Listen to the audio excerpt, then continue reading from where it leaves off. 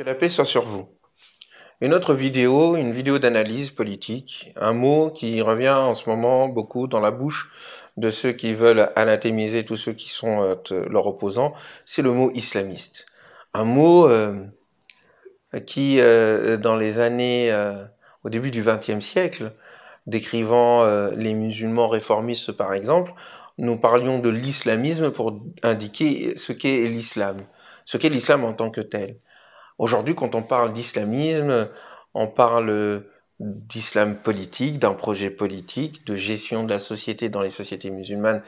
par les valeurs de l'islam. On parle aussi d'islamisme pour parler des terroristes et des djihadistes. Et on essaye au fond de réduire en fait le terme islamisme à cela, aux attentats, aux terroristes, à ceux qui ont un projet de subversion de la société, d'imposition d'une théocratie en lieu et place de ce que, de ce que seraient nos démocraties en Europe ou la démocratie, entre guillemets, dictatoriale dans euh, nos pays musulmans.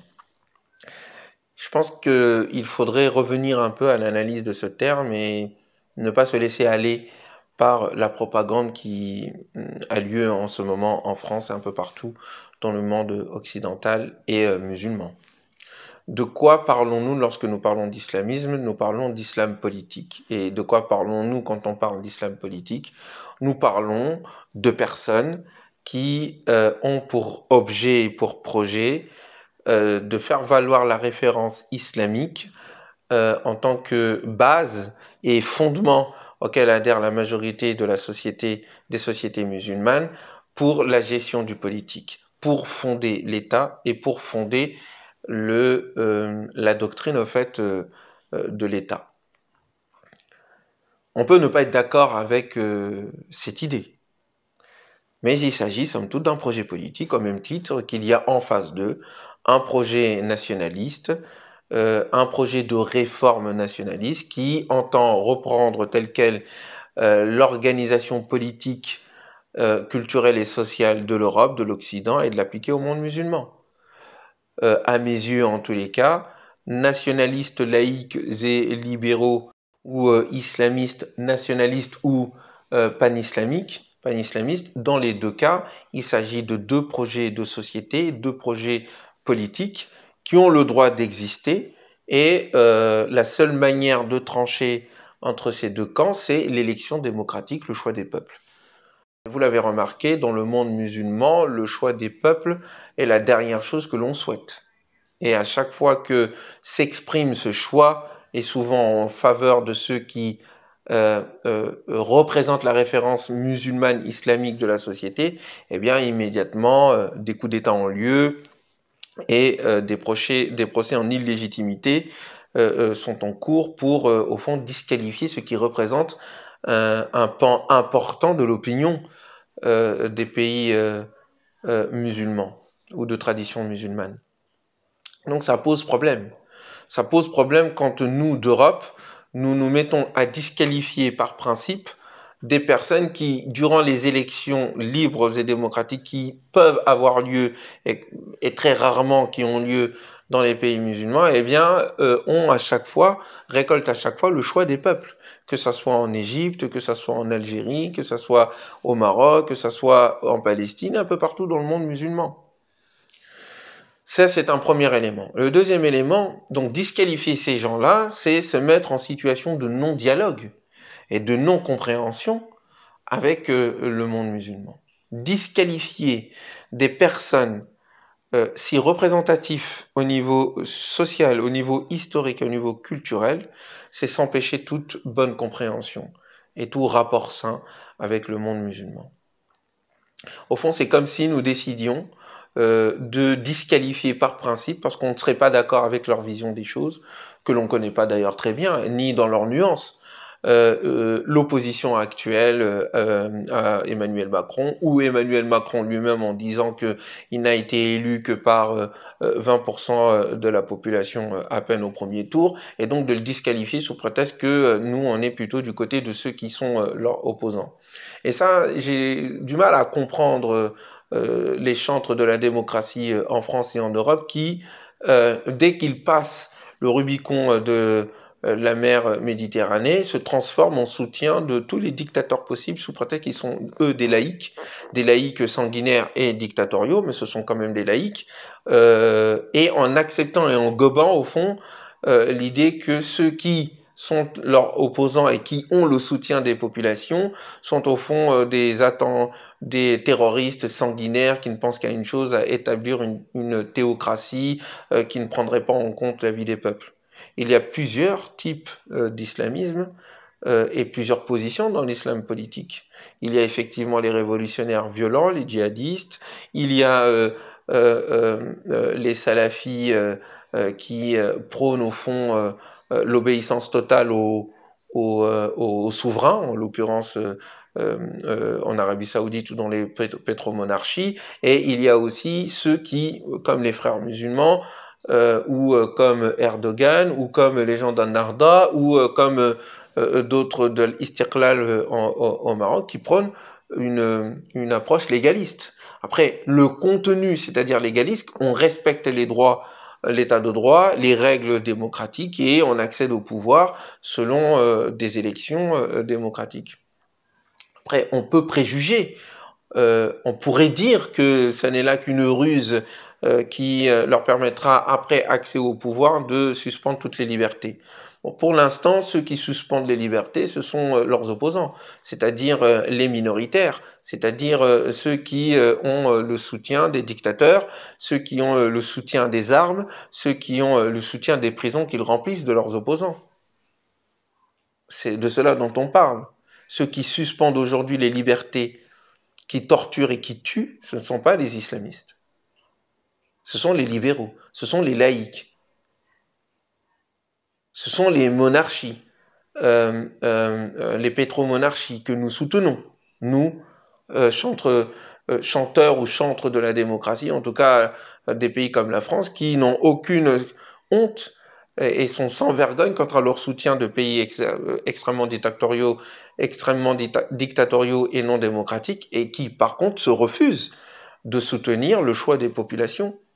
sous prétexte qu'il faut faire la guerre aux islamistes.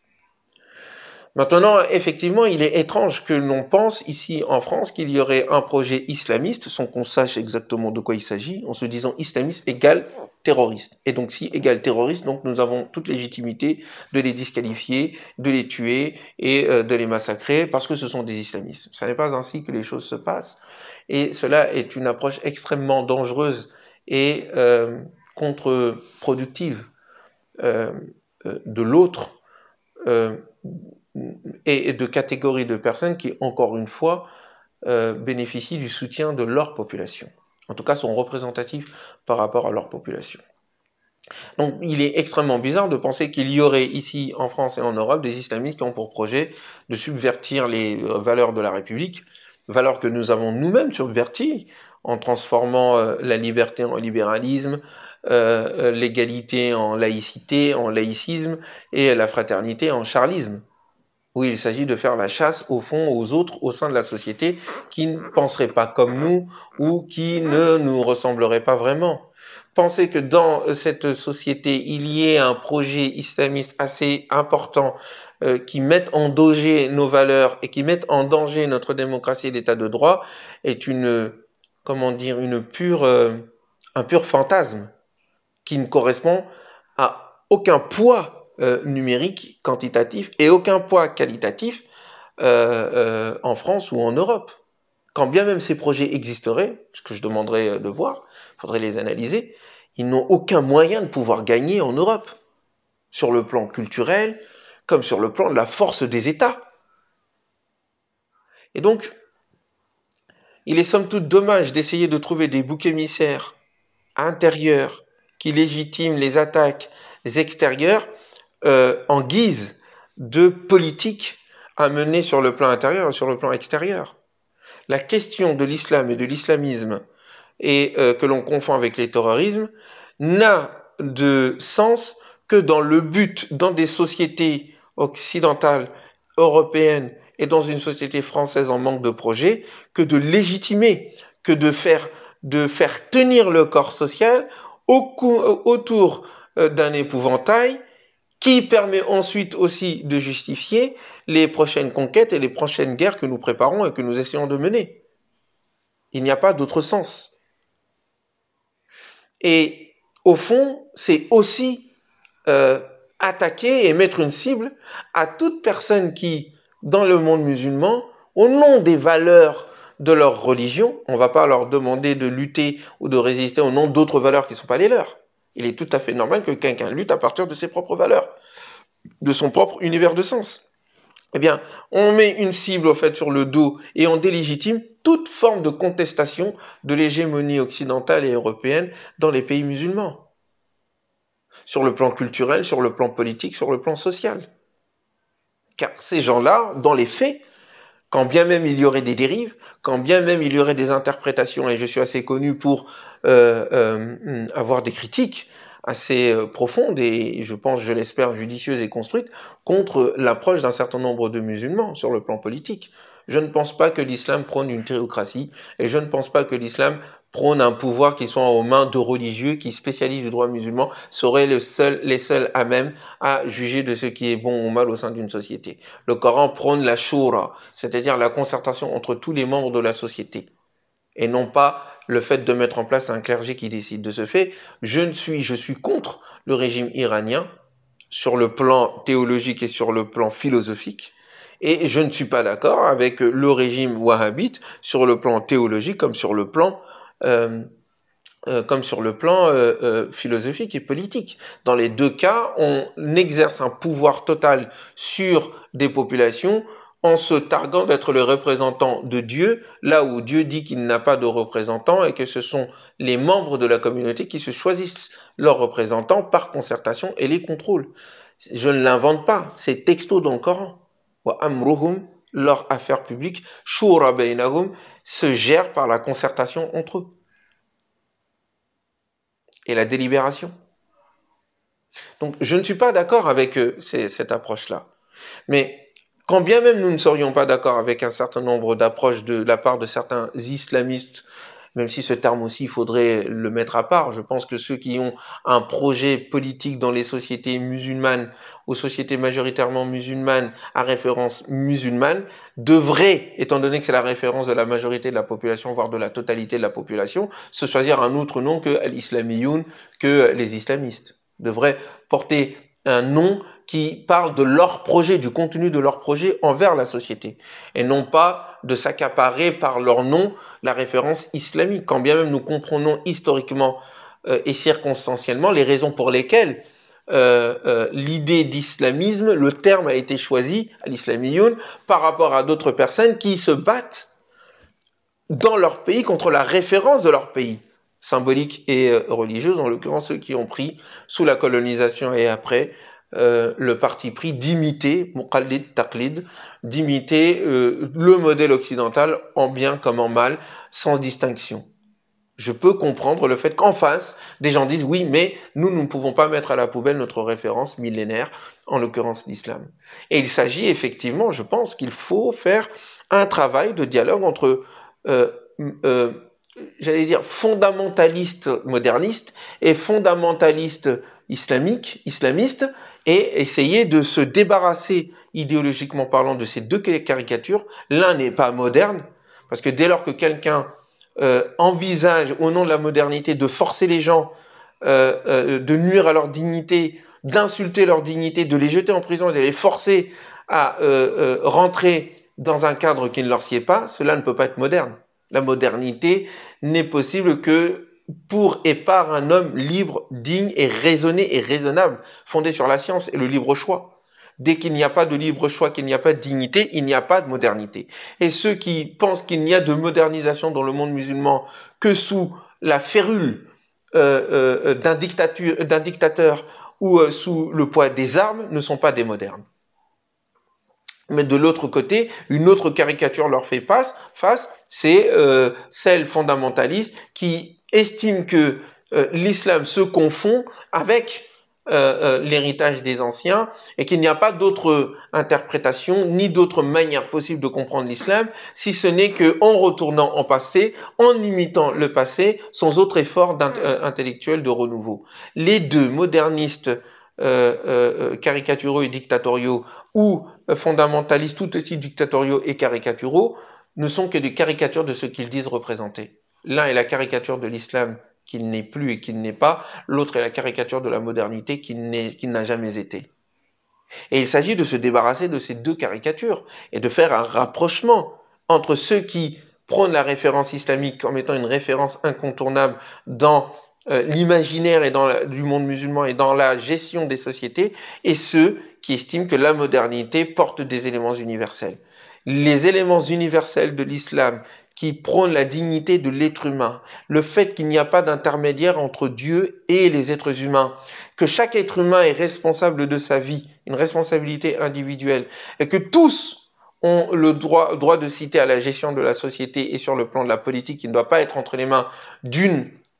catégorie particulière, d'une dynastie ou euh, euh, d'un clergé ou d'une oligarchie, ça, ce sont les valeurs de l'islam. Et c'est ce que le prophète a mis en place quand bien même les interprétations de droite et de gauche essaieraient euh, euh, de ne pas aller dans ce sens. Le Coran va dans ce sens et la vie du prophète va dans ce sens. Mais de l'autre côté aussi, ces valeurs-là de l'islam correspondent aux valeurs de la modernité, qui sont fondées sur la dignité de l'être humain, sur euh, les droits de l'homme, qui sont fondées sur l'idée qu'il ne peut y avoir de clergé, et c'est la révolution protestante, entre guillemets, euh, le, fait de, ne pas avoir de pouvoir de droit divin sur nos têtes et le fait de ne pas avoir de clergé qui décide ou qui se met entre nous et le divin. C'est ici et ainsi qu'ont commencé, qu'a commencé la modernité et qui a ensuite enclenché les révolutions politiques plus tard, deux siècles plus tard. Donc je ne vois aucune contradiction ici entre le fondement, le cœur de ce que cherche la modernité et les orientations et la philosophie de l'islam. Ceux qui s'opposent, ce sont leurs caricatures. La caricature de la modernité sous forme de modernisme colonial, qui s'impose par les armes et qui n'hésite pas à couper et à exposer le crâne de ses ennemis dans des musées, comme aujourd'hui en France jusqu'à présent, nous avons les crânes des combattants algériens qui sont dans des musées ici en France. Et où est la modernité? Et où est la modernité ici? Aucune modernité, c'est de la barbarie pure. Et de l'autre côté, des gens qui pensent que, au nom de Dieu, eh bien, ils ont le droit de tuer des gens, ou au nom de Dieu d'imposer leur propre loi en la faisant passer comme étant la loi de Dieu. Il n'y a pas d'islam ici, puisqu'il y a soumission à un autre que Dieu. Donc, est-ce que vous comprenez? Je reviens donc. Cessons, c'est de nous, comment dire, de nous laisser impressionner par une propagande ignare et ignorante qui vise à disqualifier ce qui en réalité est peut-être l'avenir du monde musulman, si bien sûr nous permettons au monde musulman, à, ces différentes factions, à ces différents courants, de se rencontrer, de discuter, de dialoguer dans l'intelligence et dans euh, ce qui nous réunit tous, la transcendance de Dieu et son unicité, la dignité de l'homme et l'unité de la famille humaine. Je pense que ce sont deux piliers qui permettent un bon dialogue, un rapprochement, pour ceux bien sûr dans les deux camps qui veulent se rapprocher. L'avenir de l'Europe, l'avenir du monde musulman est euh, entre les mains des raisonnables parmi les uns et les autres de part et d'autre de ces, de ces deux civilisations et dont nous sommes, nous, le fruit, à la fois moderne et à la fois musulman et profondément croyant en la dignité de l'homme et avant tout en l'unicité de Dieu qui soutient cette dignité. Voilà ce que je voulais vous dire. Que la paix soit sur vous et je l'espère à très bientôt.